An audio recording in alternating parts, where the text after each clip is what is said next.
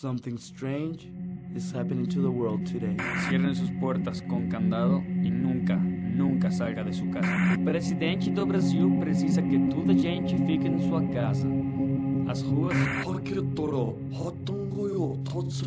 Try the new zombie special burger for only $5.99. Es hora de matar.